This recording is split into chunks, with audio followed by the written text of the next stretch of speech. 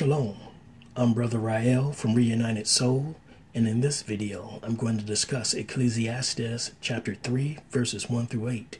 To everything there's a season, with my key focus being on a season for war. So let us nourish our soul with scripture that we may reunite with the Most High, the Elohim of Yazrael. All scriptures will be read verbatim from the King James Version Bible. Now, let's get right into it. Let's start this discussion with Ecclesiastes chapter 3, verses 1 through 8, and I read To everything there is a season, and a time to every purpose under the heaven, a time to be born, and a time to die, a time to plant, and a time to pluck up that which is planted, a time to kill, and a time to heal, a time to break down, and a time to build up, a time to weep, and a time to laugh a time to mourn and a time to dance, a time to cast away stones and a time to gather stones together, a time to embrace and a time to refrain from embracing, a time to get and a time to lose, a time to keep and a time to cast away, a time to render and a time to sow, a time to keep silence and a time to speak, a time to love and a time to hate, a time of war and a time of peace. A time of war. Could it be on the horizon? Our people are no strangers when it comes to fighting and war. Being descendants of the tribe of Yehuda, we come from a good warrior stock, from great warriors such as King David. We've been fighting and dying on a daily basis ever since our ancestors arrived here on slave ships fighting on the home front for our freedom, and fighting in many wars abroad, fighting the enemies of our oppressors, and shortly after the smoke clears, those same people will immigrate over here to be elevated above us. Funny how that works. Our people have been called many things, but one thing we're not is cowardly. That's why I have a problem when I see more and more comments on social media questioning our brother's courage. Wanting to know why we're not retaliating when our people are murdered in the streets. It seems with every incident of our brothers and sisters being murdered with impunity, we're nudged closer and closer to an all out conflict with the powers that be. People are angry, frustrated, and tired of the status quo of a one sided justice system this has been going on for the past 400 years. Nothing new under the sun, brothers and sisters.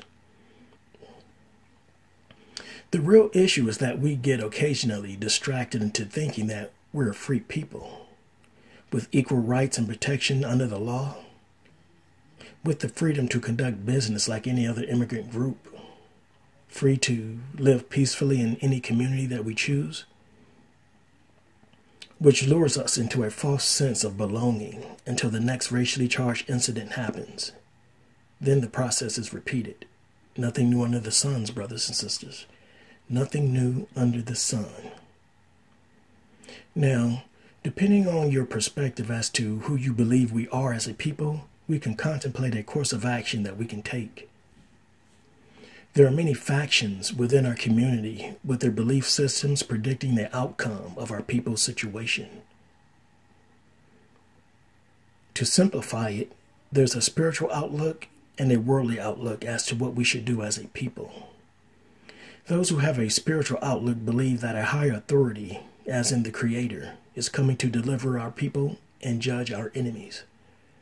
And within this group are various religious factions committed to their specific doctrines. You may find it challenging to get these groups to work together as a united front. With that being said, can you really expect them to fight effectively together?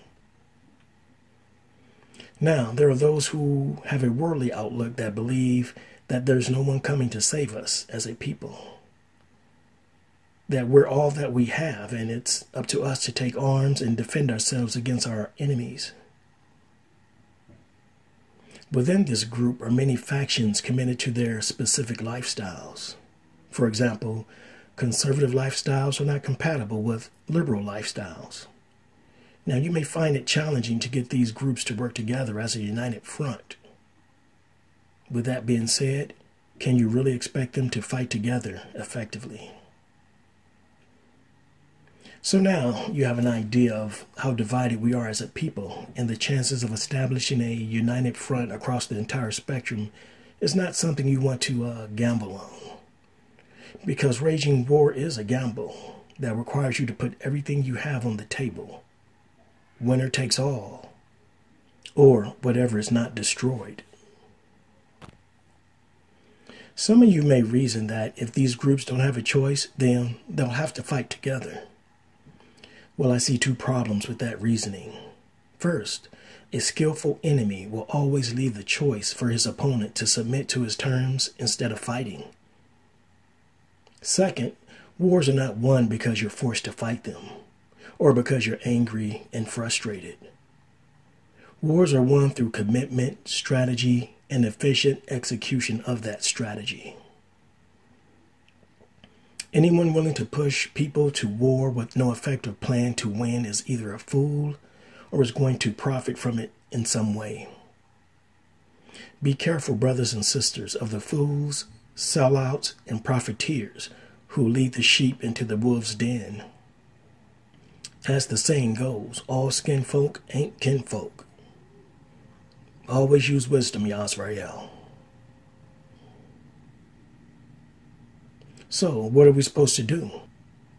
I'm glad you asked that question.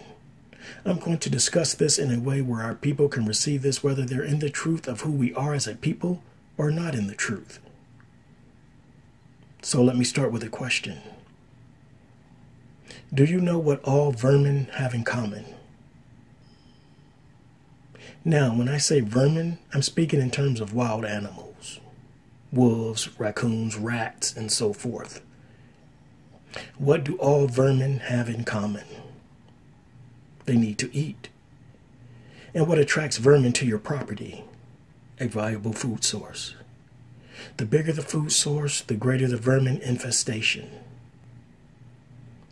Remove the food source, and they'll move on to somewhere else with a better food source. Now, what does this have to do with our people? Well, it's the same principle.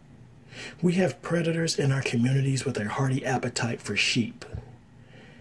And we have a viable source in our communities for those predators. You think that our communities were five star buffets the way they come in and eat with impunity. Remove the sheep and take away the food source. Stop being sheep Try to be a ram instead. At least you'll have horns to defend yourself. Or you can strive to be a lion, which is the symbol of our people, the tribe of Yehuda, which some of you know as Judah. I know that Christianity will tell you being a sheep is a good thing because Jesus is the good shepherd. He will protect his sheep. Well, he may be a hell of a shepherd in heaven, but down here on earth, the wolves are not skipping any meals, if you know what I mean. You can't be a sheep down here, people, especially not in our communities. If you have too many sheep walking around your community, then you'll have an overpopulation of wolves. And as long as the sheep are plentiful, the wolves aren't going anywhere. So, what do I consider a sheep? I'm glad you asked that question. Sheep, in my opinion, is someone that's an easy target and ill prepared to defend themselves. For example, someone who's easily provoked by an aggressor without considering what it takes to win the confrontation. Someone who's prone to commit misdemeanor violations where the law enforcement is all too eager to step in and escalate it into a felony conviction. Someone who's unaware of the type of people that's around them and have no idea they're in hostile territory someone who thinks law enforcement must enforce the law or protect their civil rights. A sheep is someone who has no regard for the image or progress of our people. Now, the list goes on and on, but you get the gist of it. And again, in my opinion, that's the characteristics of a sheep. The bottom line is a sheep will always need someone to intervene in the situation that they become involved in. So, as long as there's sheep to be eaten, the wolves are going to hunt and feed. It's as simple as that. Change sheepish behavior, and the wolves will have to work harder for their meals. Remove the sheep altogether, and the wolves will have to pack it up and go elsewhere to find their sheep. Somewhere where they can easily feed. We can't raise our children to be sheep. Our oppressors have built industries that profit from us being sheep. We help them put their children through college while they herd our children like sheep through their industries. When our oppressors enter our communities with ill intent, it shouldn't look like they're going into some harmless sheep farm or petting zoo. When they enter our communities, it should feel like they entered the lion's den. Remember, our people's symbol is the lion. So, if you're a sheep, strive to be a ram. Rams do defend themselves. And if you're a ram, then strive to be a lion, the lion of Yehuda. Now, for those of you who know that you are descendants of the transatlantic slave trade, that you are the Most High's chosen people scattered to the four corners of the earth, the rest of this discussion pertains to you. Now, let's get right into it. Let's revisit Ecclesiastes chapter 3, verse 8, and I read A time to love and a time to hate, a time of war and a time of peace. a time of war. Let's be clear our ancestors never went to war over pride. As a matter of fact, all throughout the Tanakh or the Old Testament scriptures, our ancestors fought many battles, but only fought for two reasons. First, they fought to take the land the Most High promised them. Second, they fought to defend the land the Most High promised them. That's it, brothers and sisters. The nation that cannot be destroyed fought for two reasons, and only for two reasons. It was related to the land, and of course, the Most High made good on His word regarding the land. And if we follow the example of David, the warrior king, he never went to war without approval from the Most High. He requested permission every time because when the Most High was with him, his enemy's destruction was certain. King David knew where his victories came from in times of war. If the Most High said, Leave nothing alive, that's exactly what David did. Okay, so we're not in the land. We're actually in the land of our captivity. And yes, our people have bled many times over helping our oppressors fight their enemies. And yes, our people are still being murdered and mistreated. So, why are we being nudged in the direction to fight our oppressors? By our own people, mind you. There's a reason why this nation has not been defeated for the past 400 years. Our captivity cannot be disrupted. When the Most High say 400 years of affliction according to Genesis chapter 15 verse 13, he means 400 years of affliction. Let's go to it. Genesis chapter 15, verse 13, and I read. And he said unto Abram, Know of a surety that thy seed shall be a stranger in a land that is not theirs, and shall serve them, and they shall afflict them for four hundred years. We shall serve them, meaning they'll rule over us, and afflict us for 400 years. You can't change that, which means you're not just fighting our oppressor, you're fighting against the word of the Most High. He said 400 years of affliction, and his word will not return to him void, according to Isaiah chapter 55, verse 11. And I read, So shall my word be that goeth forth out of my mouth. It shall not return unto me void, but it shall accomplish that which I please, and it shall prosper in the thing whereto I sent it. So, who are you really fighting against? Your oppressors or prophecy? Because they are connected. Nah, brother. We're fighting for our freedoms. They can't treat us this way. You mean they shouldn't be afflicting us? Well, they've been doing it for the past 400 years, just as the Most High said they would. The good news is that it's almost over deliverance is near. Did our ancestors have to fight in Egyptian bondage? No, not at all. The Most High handled that all by himself. Were our ancestors tired of serving the Egyptians? Of course they were. But our ancestors didn't have to raise a fist to the Egyptians. Well, Moshe did, but that was before he knew the Most High's plan. No, brother, you you reaching, brother, you reaching. This this is different. Our ancestors were mistreated and overworked in Egypt as well. Remember, they were killing the male infants in Egypt to reduce the population. That's how Moshe ended up in Pharaoh's palace. We can also follow our ancestors' lead in Babylonian captivity. Remember, King Nebuchadnezzar attempted to kill Shadrach, Meshach, and Abednego by throwing them in the fiery furnace. Did they fight their way out of it? Did our ancestors protest, march in the streets, or call for a race war? No, not at all.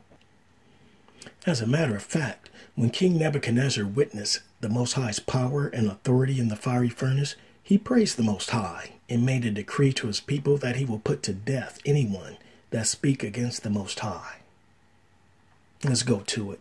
The book of Daniel, chapter 3, verses 28 through 30, and I read. Then Nebuchadnezzar spake and said, Blessed be the God of Shadrach, Meshach, and Abednego, who hath sent his angel and delivered his servants that trusted in him, and have changed the king's word, and yielded their bodies, that they may not serve nor worship any God except their own God. Therefore I make a decree that every people, nation, and language which speak anything amiss against the God of Shadrach, Meshach, and Abednego shall be cut in pieces, and their houses shall be made a dunghill, because there is no God that can deliver after this sort.